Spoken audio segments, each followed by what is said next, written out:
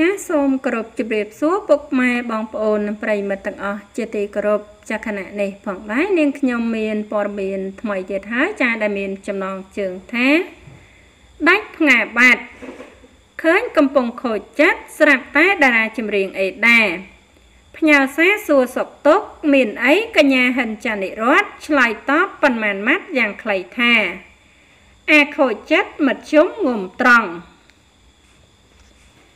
ចាពុកម៉ែបងប្អូនប្រជាពលរដ្ឋខ្មែរមិនតិចអ្នកទេពិតជាស្គាល់កញ្ញាហិនចានិរតជាជាមិនខាន ដែលជាពិធីការនីស្រស់ស្អាតមានសម្លេងពីរោះម្នាក់ហើយក៏ទទួលបាន ការគ្រប់គ្រងខ្លាំងដដែលពីសំណាក់អ្នកគ្រប់គ្រងរបស់ខ្លួនព្រមទាំងលេចមកកម្មវិធីផ្សេងផ្សេងមិនដែលដាច់ឡើយពិសេសនៅតែរក្សាបាន រូបរាងមុខមាត់ស្អាតស្រស់ខ្លាំងណាស់ ចំណែកពីថ្ងៃចុងក្រោយនេះ គេឃើញនិរដ្ឋបានបង្ហោះរូបភាពក្នុងទឹកមុខក្រៀមក្រំយ៉ាងខ្លាំងមិនដឹងជាមានរឿងអ្វីក្នុងចិត្តទេ រួចភ្ជាប់សារប្លែកប្លែកកាលពីថ្ងៃទី9ខែកក្កដាឆ្នាំ2022ថា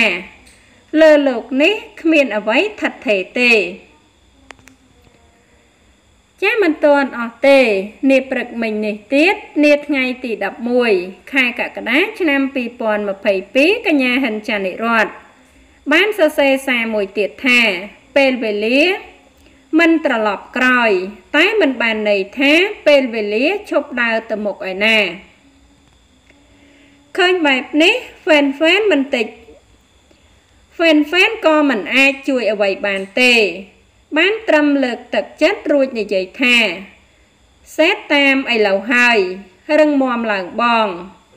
មិនអីទេប្អូនស្រីអើយកាត់ចិត្តទៅនៅមានមនុស្សល្អល្អជាច្រើនទៀតនៅចាំស្រឡាញ់ទុកក្នុងចិត្តក៏ជាអនុស្សាវរីយ៍មួយដ៏ល្អដែរស្រឡាញ់មិនមានន័យថាត្រូវតែយកឲ្យបានដែរ ចៃរត់នៅតែលេខ1ក្នុងបេះដូងខ្ញុំមេឃត្រជាក់បើមានអាវក្រៅបន្តិចប្រហែលល្អអតចរិតចេញមកថ្លៃធ្នូគូឲ្យស្រឡាញ់ណាស់ពេលវេលាទៅមុខជាថ្ងៃថ្មី ពេលវេលាហួសហើយជាថ្ងៃចងចាំប្រហែលចែនៅមានគេប្រែងចោះទម្រាំខ្ញុំគ្មានអ្វីដែលស្ថិតថេររហូតនោះទេ ជាពិសេសចិត្តមនុស្ស បងរត់ហាមទឹកភ្នែកស្រក់លើម៉ាស្ការ៉ាអ៊ីហ្វេនបារម្ភមិនទាន់អស់ទេឃើញបែបនេះតារាចម្រៀងដ៏ល្បីអេដាខំផ្ញើសារសួរសុខទុក្ខស្រាប់តែចានិរតតបវិញប៉ុន្មានម៉ាត់ធ្វើឲ្យអេដាចង់ដាច់ផ្ងាអេដាបានបញ្ជាក់ប្រាប់គ្រប់គ្នាឲ្យដឹងថាឯងខំផ្ញើសារសួរសុខទុក្ខ ស្រាប់តែគាត់តបវិញថា